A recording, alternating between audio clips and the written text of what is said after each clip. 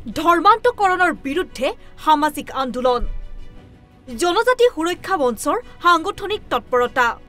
ধৰ্মান্তৰিত জনজাতিয়ে নাপাব অধিক সুবিধা। স্বধৰ্ম ত্যাগ কৰি খ্ৰীষ্টিয়ান বা ইছলাম ধৰ্মলৈ ধৰ্মান্তৰিত হোৱা জনজাতীয় লোকে নাপাব অধিক সা সুবিধা এই মত প্ৰকাশ কৰিছে জনজাতি সুৰক্ষা মঞ্চৰ কৰ্মকৰ্তা তথা কটন বিশ্ববিদ্যালয়ৰ প্ৰবক্তা জ্ঞানেন্দ্ৰ বৰ্মনে। উল্লেখযোগ্য যে অসমত ধৰ্মান্তকৰণৰ বিৰুদ্ধে ইতিমধ্যে জনসজাগতাও আৰম্ভ কৰিছে জনজাতি সুৰক্ষা মঞ্চই। কিন্তু আগন্তুক সময়ছোৱাত এই অনুষ্ঠানটোৱে ধৰ্মান্তৰিতকৰণৰ ক্ষেত্ৰত কঠোৰ চৰকাৰী ব্যৱস্থাৰ পোষকতা কৰিছে। হয় আমি জনজাতি সুৰক্ষা মঞ্চ ফালৰ পৰা আমি এক সামাজিক এক এক আন্দোলন আমি আৰম্ভ কৰিছোঁ। সেই বিষয়টো হ'ল আমাৰ যিখিনি জনজাতি জনজাতি ধৰ্ম সংস্কৃতি সুৰক্ষাৰ এক অভিযান আমি আৰম্ভ কৰিছোঁ। জনজাতিসকলৰ যি স্বকীয় ধৰ্ম ভাষা পৰম্পৰা ঐতিহ্য সেইখিনি সুৰক্ষিত হ'ব লাগিব।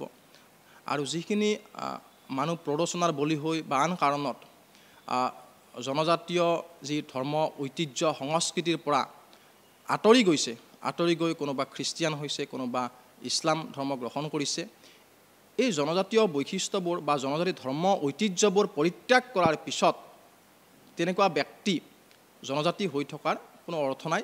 জনজাতিৰ সুবিধা পাই থকাৰ কোনো অৰ্থ নাই। তিনিশ বিয়াল্লিছ নং অনুচ্ছেদৰ সংশোধনী দাবী ধৰ্ম সুৰক্ষাৰ দাবীত জনজাতি সুৰক্ষা মঞ্চ। ৰাজনীতিৰ ঊৰ্ধত থাকিব লাগে সমাজ ব্যৱস্থা।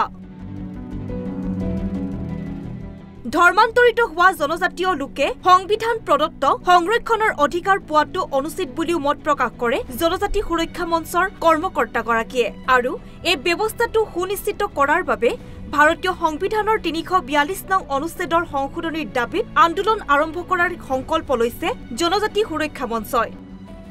সংবিধানৰ তিনিশ বিয়াল্লিছ article three forty two amend কৰিব লাগে সংশোধন কৰাৰ আমি দাবী জনাইছোঁ। কাৰণ সেই সংবিধান সংশোধন কৰি তিনিশ বিয়াল্লিছ অনুচ্ছেদ সংশোধন কৰি এনেকুৱা এক ব্যৱস্থা তাত অন্তৰ্ভুক্ত কৰিব লাগে যে যি ব্যক্তিয়ে যি ব্যক্তিয়ে নিজৰ ধৰ্ম ঐতিহ্য পৰম্পৰা সংস্কৃতি পৰিত্যাগ কৰিব তাৰ বিৰোধিতা কৰিব তেনেকুৱা ব্যক্তিয়ে এছ টি ষ্টেটাছ পাই থকাটো অৰ্থহীন পাই থকা উচিত নহয়। জনজাতিসকলৰ যি ধৰ্ম সংস্কৃতি পৰম্পৰা তাৰ সুৰক্ষাৰ গেৰাণ্টি আমাক লাগে। সেইটো সুৰক্ষা সুনিশ্চিত কৰিব লাগিব উন্নয়ন সুৰক্ষা হ'ব লাগিব সকলো জনজাতিৰে। আৰু যিসকলে এই ধৰ্ম পৰিৱৰ্তন কৰে সেইসকলৰ জনজাতিৰ মৰ্যাদা কৰ্তন হ'ব লাগে।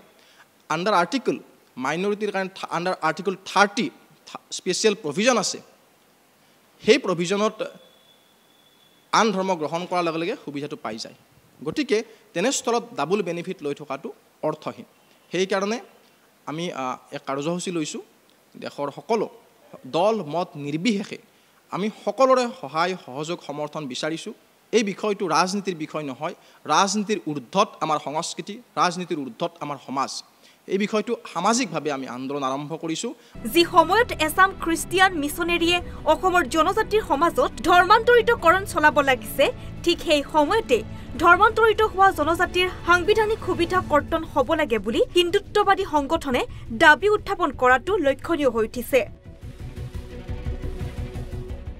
ভিডিঅ' জাৰ্নেলিষ্ট সঞ্জীৱৰ সহযোগত মানৱেন্দ্ৰ কুমাৰ দাসৰ report Asom live twenty four.